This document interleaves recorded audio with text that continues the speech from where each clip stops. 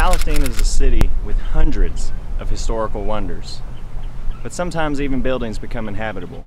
I sat down with Mark Myers, building official for the city of Palestine, to discuss this more in depth. I'm Mark Myers, I'm the building official for the city of Palestine.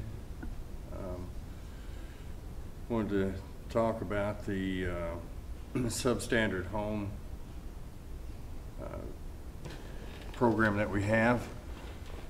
What we, uh, what our intentions are on the substandard homes uh, per our ordinance is when a, a home is uh, abandoned or neglected, uh, Sometimes there's a complaint filed about it. We go investigate it, and uh, if it fits the uh, description of substandard home or substandard housing in the, within the city ordinance, we will uh, bring it before the Building and Standards Commission for a review.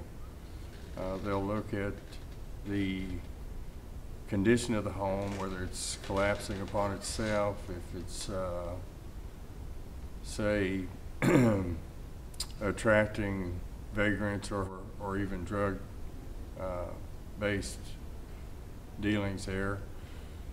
Uh, They'll look at uh, back taxes, if they're paid or not, uh, different things like that. If the foundation and uh, rest of the house is just not fixable, uh, either remove the home or offer the owner a way to, or a chance to rehabilitate it. I'm standing on a vacant lot on the corner of Louisiana and Rampart Street in Palestine. What used to be here was a house in deplorable conditions, according to the city. What they're trying to do with this project is clean up old housing units that are no longer livable in, turning it into this a vacant lot that's just waiting for a good buyer. The Palestine Herald Press, I'm James Robertson.